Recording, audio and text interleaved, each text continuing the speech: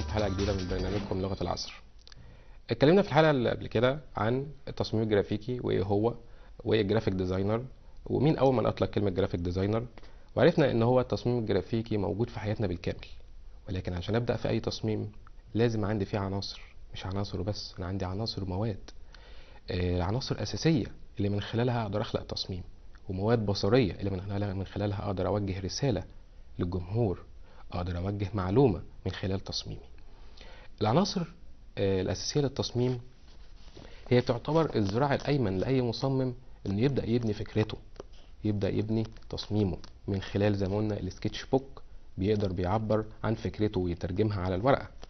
طيب لو جينا اتكلمنا في البداية عن المواد البصرية المستخدمة في التصميم وهي اللي زي الورق. زي ما إحنا شايفين في هنا مثلا عندي الورق ده من المواد البصرية للتصميم. عندي فيه الألوان برضو من المواد البصرية للتصميم. عندي فيه بعد كده الخشب برضو ده, ده, عنصر أساسي ومواد أساسية من البصرية للتصميم. في عندي الفيلم برضو من المواد البصرية للتصميم. في عندي البلاستيك في عندي الحديد. دي كلها مواد بصرية آه، أنا بستخدمها عشان أخلق تصميم عشان أخلق آه، وأوجه رسالة للجمهور. آه، أما العناصر الأساسية إحنا من من اسمها يعني هي عناصر أساسية لا غنى عنها. من خلالها بقدر أعمل التصميم بتاعي. إيه هي العناصر ديت؟ في عندي النقطة في عندي الشكل في عندي الخط آه، في عندي الحجم أو النسب لأن إحنا هنتكلم وقتها عن النسب ومن أشهر النسب هي النسبة الذهبية golden ratio في عندي اللون في عندي الملمس والملمس ده بينتج عن الخطوط هنعرفه. في عندي الاتجاه وفي عندي الحركة. لو بدأنا بالنقطة النقطة هي آه، أبسط طريقة للتواصل في المجتمع بين الناس. ليه؟ لأنها موجودة already في الطبيعة موجودة حوالينا. زي إيه؟ آه، المياه لما بتتجمع بتعمل نقطة. آه، الشمس الشمس مدورة. آه، عندي القمر مدور. طيب لو آه، إذا حطينا النقط جنب بعضها بطريقة منظمة إذا حطينا النقط جنب بعضها بطريقة منظمة بتقدر من خلالها بنعمل من خلالها بنقدر نعمل شبكة. يعني لو حطينا نقط من جنب بعضها بنقدر بنعمل شبكة. بس النقط تكون بشكل منتظم بشكل منظم عشان نقدر نعمل الشبكة. طيب من خلالها برضو نقدر نرميها في السماء زي النجوم. إذا هي موجودة حوالينا في الطبيعة. طيب إذا حطينا ال- ال- النقط جنب بعضها آه، بس بطريقة غير منظمة بس مع تفاوت الحجم نقدر نعمل حاجة اسمها الخدعه البصريه الصورة اللي قدامنا دي دي اللي بتأكد لي إن أنا ممكن لما اكون شخص عادي وأبص على الصورة بحس إن في تدرج في اللون من الأسود للأبيض من خلال وجود اللون الجراي معايا. أنا هنا استخدمت النقطة النقطة مع تفاوت أحجامها من نقطة كبيرة مع تفاوت المسافات اللي بينها بقت نقطة صغيرة مع نسبة تغيير في اللون للجري شوية. قدرت إن أنا أعمل خدعة بصرية ولكن من خلال عنصر واحد وهو عنصر النقطة. زي مثلا الصورة دي هتوضح لنا أكتر. إزاي؟ أنا عملت خدعة بصرية بالنسبة للون الأحمر أو بالنسبة للون الأزرق أو الأبيض أو الأصفر. يعني لو بصينا على اللون الأبيض هنلاقي إن أنا عندي النقط النقط نفسها لونها أسود ولكن مع تدرج اللون فيها وصلت للجراي ومن الجراي مع الحجم النقطة ما بصغره وبكبر المسافة اللي يبص على الصورة يلاقي إن في خدعة بصرية وهي تدرج اللون. وهي دي الخدعة البصرية اللي عملتها لي عنصر أساسي من عناصر التصميم الأساسية وهي النقطة. النقطة برضو آه، استخدمت آه، من مئات السنين في فنانين في أوروبا. قدروا يعملوا يستخدموا النقطة في رسم لوحات كاملة. اللوحات دي زي مثلا اللوحة دي. اللوحة ديت اللي يبص لها هيلاقي إن هي لوحة مرسومة متكاملة لوحة مرسومة بقلم بفرشاة بأي أداة. لكن ما يتخيلش أبدا إن لوحة زي دي مرسومة بعنصر من عناصر التصميم ألا وهو النقطة. النقطة هنا هو هنا الفنان استخدم أربع ألوان فقط من الألوان وهم الألوان المستخدمة حاليا في ال printing في الطباعة اللي هي آه، الاختصار بتاعهم ال CMYK وده بيطلق عليه color mode بالنسبة لبرامج الجرافيك. يعني إيه السي والام والواي والكي اللي استخدمهم الفنان في اللوحة دي عشان يقدر يطلع لوحة بالجمال ده وبالألوان دي؟ قدر يستخدم ال C اللي هو ال cyan الأزرق السماوي ال M اللي هو الماجنتا اللي هو الأحمر الفاتح وفي عندي ال Y ال yellow اللي هو الأصفر وال K اللي هو ال black الأسمر. من خلال الأربع ألوان دولت قدر يخلق آه، ألوان آه، ليس لها حصر ليس لها نهاية. بقدر أصمم أي لون أنا عايزه من خلال الأربع ألوان دول بس. قدر يستخدم الأربع ألوان من النقط في اللوحة دي عشان يقدر يصمم لوحة آه، وبالتالي ده تاكيدا على إن النقطة موجودة من مئات السنين وفنانين أوروبيين هم اللي قدروا يستخدموها. في لوحة زي تانية مثلا زي كده. اللوحة ديت قدر يرسم الفنان الشجرة مع ال- الباي المية مع الشخص آه، وبالتالي أنا شايف لوحة متكاملة مش شايف نقط. ولكن في الأساس أو في الأصل هو مصمم اللوحة أو راسم اللوحة عن طريق استخدام عنصر من عناصر التصميم اللي هو آه، النقطة. ال- النقطة هتودينا لعنصر تاني. إيه هو؟ آه، الخط.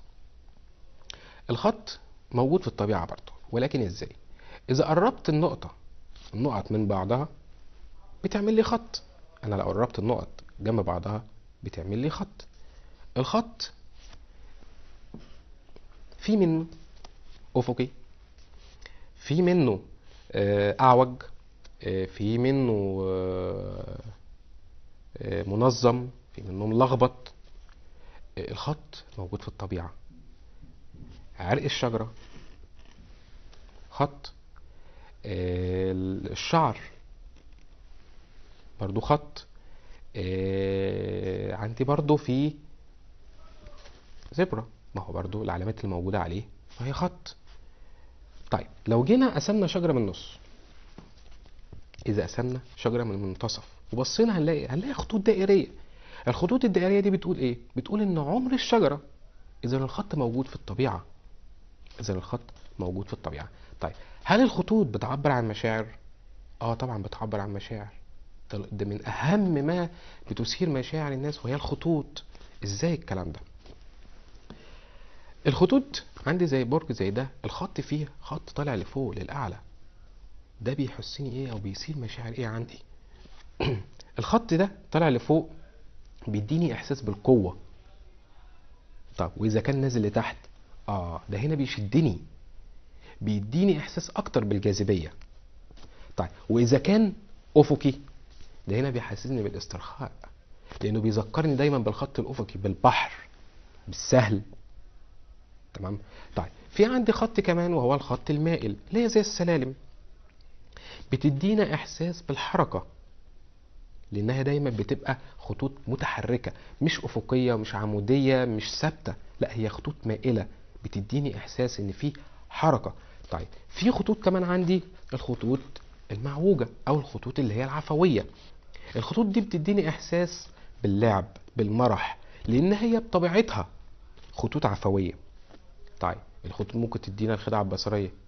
بس قبل ما تدينا الخدعة البصرية في عندي خطوط كمان ممكن تديني إحساس بالعنف والفوضى إزاي؟ أنا لو جيت لخبطت الخطوط مع بعضها بطريقة غير منظمة زي كده دي ممكن تديني إحساس بالعنف إن في فوضى في الخطوط في حاجة غير منظمة. طيب الخطوط ممكن تديني إحساس بالخدعة البصرية. الخطوط هنا ممكن من خلالها أقدر أعمل أشكال ممكن أقدر أعمل رسومات ممكن أقدر من خلالها أعمل تكوينات والتكوينات دي جزء مهم جدا إن أنا بكون عناصر التصميم عشان أقدر أعمل آه شيء رسالة مهمة موجهة. هنا آه الخطوط قدرت تعمل لي ملمس. سواء كان ناعم سواء كان غير ناعم قدرت الخطوط تبني لي ملمس وبالتالي أنا رحت لعنصر ثالث من عناصر التصميم الأساسية وهو الملمس. إذا اذا التصميم بالنسبة للخط شيء مهم ان أنا الخط يطلع لي ملمس. من خلاله يا إما الملمس ده ناعم يا إما الملمس ده خشن. وممكن يوديني على الخدع البصرية. إن أنا ممكن أبص على الصورة ألاقي إيه؟ إن الصورة دي ناعمة سطحها ناعم. لكن لا هي مش سطحها ناعم هي مجرد خطوط ولكن تداخل الخطوط مع بعضها هي قدرت توديني للخدعة البصرية اللي هي قالت لي إن الصورة السطح بتاعها ناعم ولكن هي الصورة مش سطحها ناعم. الخطوط آه، إذا كانت آه، رسالة آه، اللي مرسوم بيها الخطوط عفوية وبسيطة الرس- الرسالة هتوصل كمان عفوية وبسيطة. أما إذا كانت الخطوط جدية وعنيفة إذا الرسالة كمان هتوصل جدية وعنيفة. آه، ده كان عنصر ثالث اللي هو الملمس وال- والخطوط. عندي فيه عنصر كمان من عناصر التصميم وده عنصر مهم جدا وهو عنصر الأشكال. الأشكال أنا عندي فيه ثلاث أنواع من الأشكال. في عندي أشكال هندسية في عندي أشكال طبيعية في عندي أشكال عفوية. من أساميهم حتى. يعني الأشكال الهندسية هي بتعتمد على المربع والمثلث والدائره أشكال هندسة. آه، أشكال طبيعية من اسمها موجودة في الطبيعة. طيب الأشكال الهندسية. الأشكال الهندسية هي بتنقسم معانا إلى ثلاث أقسام أو لثلاث أشكال. وهما ثلاث أشكال أساسيين اللي هما المربع المثلث الدايرة. آه الثلاث أشكال المربع والمثلث والدايرة من خلالهم بقدر أعمل وارسم الأشكال الهندسية التانية. يعني إيه؟ يعني الأشكال الهندسية التانية مبنية على الأشكال دي؟ أيوه الأشكال الهندسية مسل مسدس آه، سداسي الشكل سباعي الشكل مكعب ايا كان الشكل الهندسي الباقي أو الأشكال الهندسية التانية مبنية على الثلاث أشكال دولت اللي هم المربع والمثلث والدايرة. طيب هل الأشكال دي بتعنينا؟ بيبقى ليها معنى لينا؟ طبعا. طيب لو اتكلمنا عن المربع مثلا. ده المربع ده له معنى. بيديني إحساس إن المساحة محددة. وواضحه مش محددة وبس دي واضحة. يعني إيه؟ أنا لما بيكون عندي مربع برسم من خلاله أو برسم جواه شكل معين وبالتالي أنا اللي برسمه داخل المربع ده بيديلي إيحاء إن المساحة بتاعتي محددة. بس واضحة مش محددة وبس. لا دي واضحة. لدرجة إن ساعات بحس إنه ممل من كتر ما هو واضح. ولكن واضح ومحدد. المثلث لو جينا هنقول دي أشكال اللي هي الطبيعية دي الأشكال اللي هي العفوية ودي الطبيعية اللي هي موجودة في الطبيعة اوريدي ودي أشكال اللي هي العفوية اللي مبقاش أنا مخطط لها أو بفكر فيها. هنا عندي المربع وما يعنيه إن هو بيديني مساحة آه، محددة ولكن هو واضح. لكن المثلث المثلث هنا بيبقى طالع لفوق طالع للسماء بيديني إحساس بالصراع أكتر. آه، لكن بعكس الدايرة آه، دي أشكال كلها دي أشكال هندسية اللي هي مبنية على الثلاث أشكال اللي إحنا اتكلمنا عليهم اللي هم المربع مثلث الدايرة. وبالتالي من خلال الثلاث أشكال دولت أقدر أبني أي أشكال هندسية أخرى. طيب آه، دي اللي هي الأشكال ال- العفوية. بالنسبة للدايرة الدايرة هي برضو بتعنينا حاجة مهمة جدا. إيه هي؟ آه، الدايرة ناعمه تدينا إحساس بالنعومة. ليه؟ آه، لأنها لا ما لا نهاية. يعني أنا مجرد ما برسم دايرة فوق دايرة فوق دايرة فوق دايرة ملهاش نهاية. بتدينا إحساس بالنعومة. آه، الدايرة والمثلث والمربع ده عناصر أساسية في التصميم آه، اللي من خلالها هقدر أبني أي أشكال تانية. آه، برضو في عندي آه، الأشكال الطبيعية زي ما قلنا. الأشكال الطبيعية دي موجودة اوريدي في الطبيعة. موجودة اوريدي في الطبيعة. آه، إزاي؟ زي إيه؟ زي ال- آه، الفراشة زي آه، جذع الشجرة آه، زي الوردة. آه، إزاي الكلام ده؟ آه، دي بتبقى بالنسبة للعين أنا بشوفها بتبقى سهلة لأنها موجودة في الطبيعة من خلق الله سبحانه وتعالى. آه، أما بالنسبة للأشكال العفوية زي ما إحنا شايفين كده دي الأشكال العفوية. الأشكال العفوية هنا بتبقى آه، أنا مش مخطط لها بدون ما نفكر فيها بدون ما نخطط ليها. يعني إيه أنا لو جبت مثلا فرشة فرشة ألوان وحطيتها في ألوان وجبت ورقة وابتديت أعمل برش من ال- الفرشة على الورقة. بيظهر لي إيه؟ بيظهر لي الشكل ده. أشكال عفوية أشكال أنا مش منظم لها أشكال أنا مش مخطط لها. وبالتالي هي دي الأشكال ال- العفوية. طيب آه، في برضو عندي الجزء اللي بعد كده اللي هو إن أنا لازم أفرق بين المصمم والمصور. ال- المصور هو بي- بيكون الصورة بتاعته بيقدر يعمل تكوين للعناصر الأساسية بس داخل الكاميرا وبالتالي داخل الصورة. لكن المصمم ال graphic ال graphic designer بيختلف إن هو بيستخدم الصورة كجزء من تكوين تصميمه. المصمم بيستخدم الصورة كجزء من تكوين تصميمه ولكن بخلاف المصور إن هو بيستخدم تكويناته كلها داخل الصورة من خلال الكاميرا. في عندي جزء مهم جدا برضو وهو العنصر برضو مهم من عناصر الأساسية للتصميم اللي هو النسب أو الحجم. الحجم أو النسب هي عبارة عن إن أنا بعمل علاقة بين الأشكال ببعضها وبالصور. لازم يكون التصميم ملائم للعين لازم يكون متناسق. آه، برضو النسبة ممكن نقول إن هي بتعمل آه، بتأثر في الأحاسيس أكتر. آه، يعني بتفاعل معها بأحاسيسي. آه، مش بس بفكر. آه، النسب هي مستعملة من مئات السنين. يعني هي موجودة من مئات السنين حتى قبل التصوير وقبل الكاميرات هي موجودة لأنها آه، بتتلائم مع قاعدة فاي اللي هي نسبة حسابية بتساوي واحد وستمية وتمنتاشر من ألف تقريبا. آه، وكان آه، النسبة ديت كانت من أشهر الطرق ال- المستخدمة في تصميم الشعارات. حتى الآن آه، بالنسبة للإغريق كان الإغريق كان بيستخدموا ال- النسبة الذهبية آه، بالنسبة لهم كان المستطيل الذهبي ده كان قانون الجمال. كانوا بيقدروا يستخدموه في آه، في العمارة في المنحوتات آه، ادي مثلا النسبة الذهبية زي ما بنقول النسبة الذهبية دي مستخدمة من مئات السنين من زمان وهي اللي بتخليني إن أنا أعمل الديزاين بتاعي والتصميم بتاعي متناسق للعين منظم. آه، هي نسبة حسابية على الاقل ما هي برضو على قد ما هي نسبة هندسية هي حسابية بتديني تناسق ونظام في استخدام العناصر المستخدمة في التصميم. آه، الإغريق برضو كان آه، المستطيل الذهبي بالنسبة لهم كان بيمثل قانون الجمال. لأنهم كانوا دايما كان بتلاقيه دايما المستطيل دوت في العمارة آه، في المنحوتات تمام؟ آه، وبالتالي هو موجود في الطبيعة المستطيل الذهبي لأن هو كان سره آه، إن هو آه، يعني كان على أساسه آه، النسبة الذهبية. اذا اذا فالنسبة الذهبية موجودة من زمان.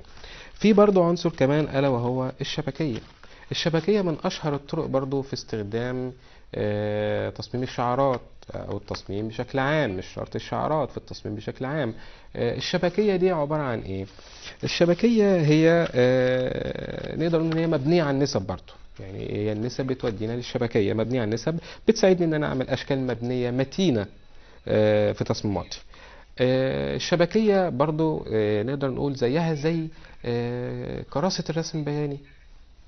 آه، لأنها بتحتوي على آه، صفوف وأعمدة آه، خطوط عمودية وخطوط أفقية آه، بتبقى المسافات بينهم آه، بوحدات معينة نقدر نستخدمها برضو في آه، تصميماتنا.